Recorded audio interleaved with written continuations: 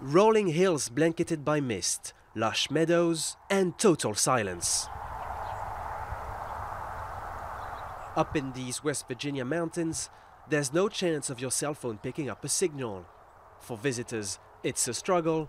For locals, a way of life.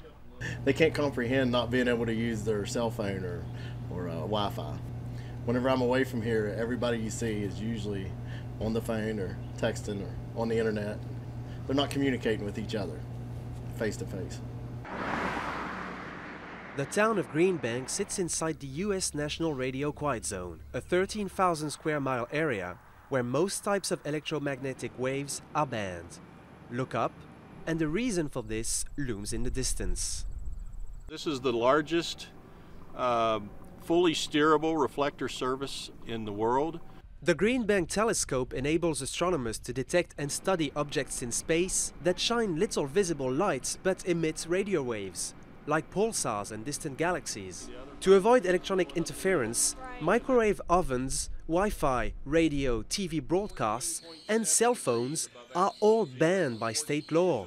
Mike Holstine, business manager of the telescope, thinks this benefits the community.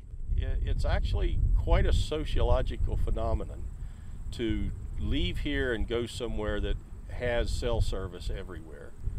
The lack of social interaction is surprising.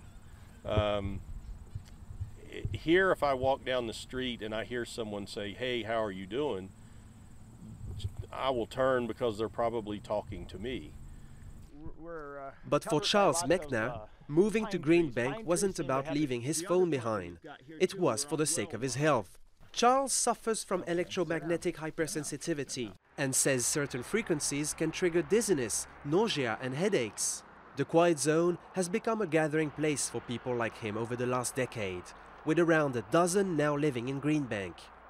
I don't know how long my future, or our future as a group of sensitive people to this electromagnetic frequency is going to last here because technology is slowly coming in.